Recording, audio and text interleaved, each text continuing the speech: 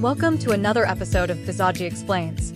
Today we're answering the question, what is low-code automation? Low-code automation allows users to automate business processes with very little coding. Instead, it uses visual tools with drag and drop features and reusable components.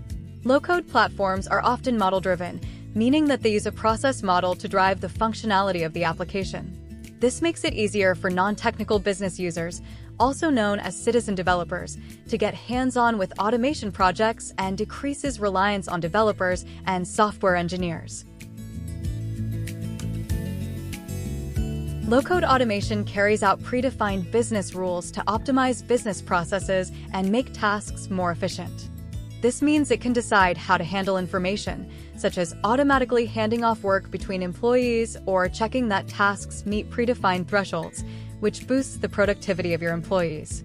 But it's more than just coding with pictures, which can introduce the same silos and technical debt as traditional development. Instead, low-code automation focuses on the business process to form the skeleton of the application, which means it's open to change when the business needs it. A low-code automation platform makes the processes accessible across the organization and provides a single, unified view of all your systems. It integrates systems and automatically pulls data from multiple sources to save employees time on gathering and inputting data. Low-code automation also enables internal governance and compliance with external regulations, protecting your organization from fines and reputational damage.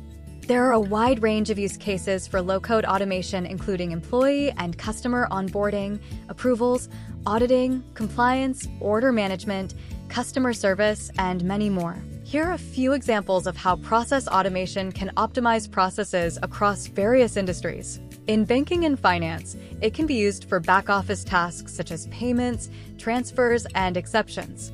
This lowers costs, avoids human error, and speeds up customer service. In the manufacturing industry, it can be used for vendor management to speed up the onboarding processes and collate information on vendor performance. It can also be used for logistics and distribution to orchestrate data that tracks inventory and order status. In the retail sector, it can be used for sourcing and procurement to compile a centralized repository and notify stakeholders when actions are required to speed up decision-making. Bizagi is a low-code automation platform that allows you to analyze, optimize, and automate processes to enhance efficiency across your organization.